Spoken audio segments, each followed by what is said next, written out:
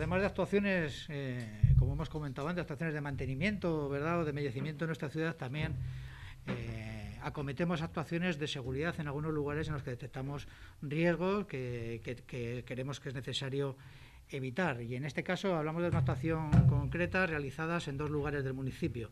Uno en la calle Grumete Diego, en la parte elevada que tenemos en la calle Grumete Diego, y otro en Francisco Pizarro, en el barrio de Buenavista. En estos dos lugares nos encontramos con pequeños taludes, un desnivel alto en el cual eh, hay un aparcamiento en, ese, en esa zona, en el cual, eh, pues eh, debido a este desnivel, hay un riesgo evidente de que un vehículo pueda, pues, debido a un, a un despiste, pues pueda acabar eh, cayendo por este desnivel, que, llegando a crear un peligro evidente con riesgo a la ciudadanía, y que es lo que pretendemos evitar.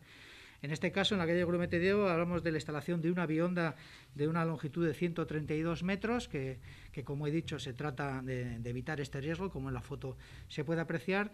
Y en la calle Francisco Pizarro es un, lugar con una, una dimensión más pequeña, en este caso se instalará una bionda de 16 metros, que intenta evitar el riesgo de, eh, que supone estacionar en un lugar adyacente a unos patios privados de las viviendas en el cual eh, los vehículos pues, pueden, pueden eh, caer en ese lugar.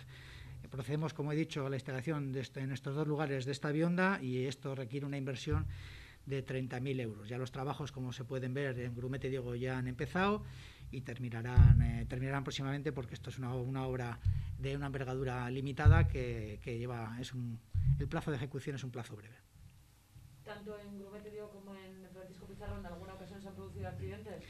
Sí, en Francisco Pizarro no lo recuerdo, lo queremos evitar antes de que suceda. Aquí en Grumete Diego, si en alguna ocasión algún vehículo ha deslizado por, por esa pendiente, no ha ocasionado eh, problemas a ningún vecino, de, que tenga constancia, pero evidentemente eh, creemos que es el momento de acometer eso y evitar este riesgo.